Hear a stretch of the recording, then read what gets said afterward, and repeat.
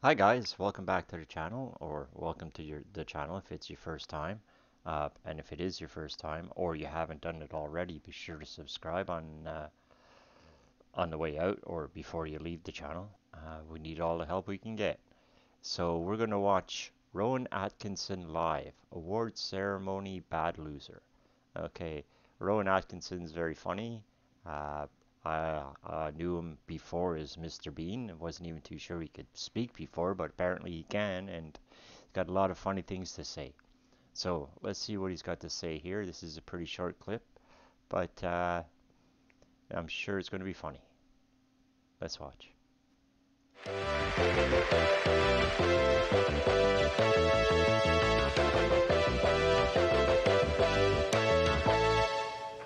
Welcome back to the Olivier Theatre Awards, and we come now to the award for Best Actor of the Year. And the nominations this year are Al Pacino for Death of a Salesman, Kenneth Branagh for Richard III, and then two actors, both from the same remarkable new play, Stench by Harold Barkworthy.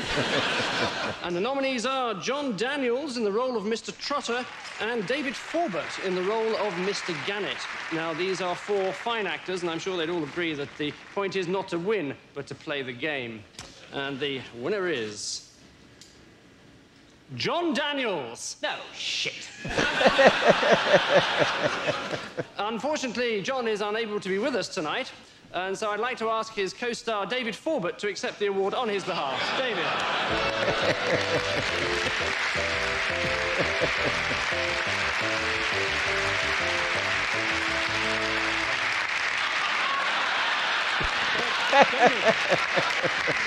David, um, perhaps you'd like to say a few words, David.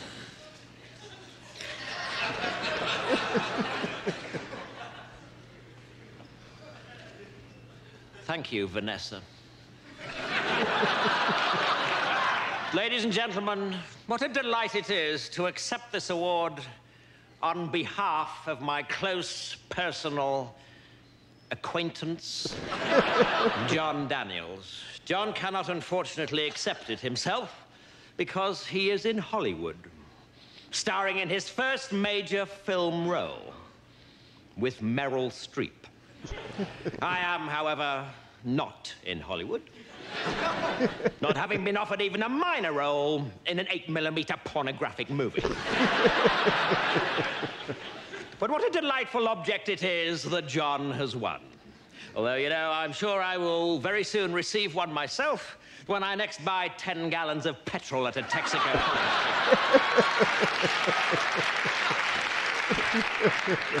so, what is it that Johnny has got that makes him stand apart from other actors of his generation?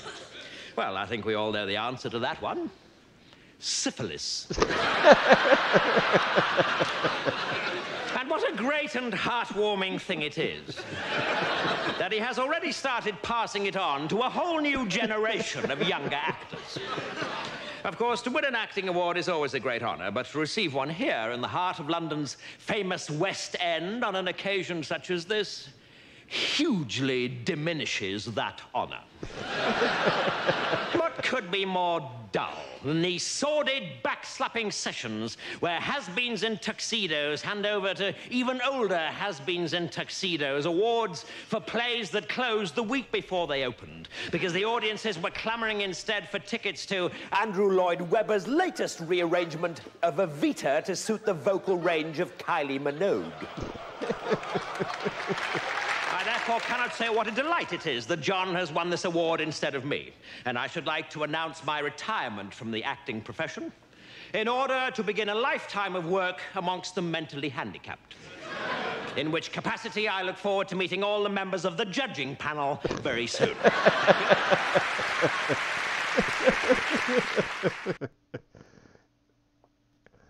All right, was Rowan Atkinson live award ceremony? Award ceremony bad loser. it was a short clip, but it was pretty funny. Uh, thanks for watching. We'll see you on the next one. If you haven't subscribed, be sure you do. And uh, have a nice day. We'll see you later.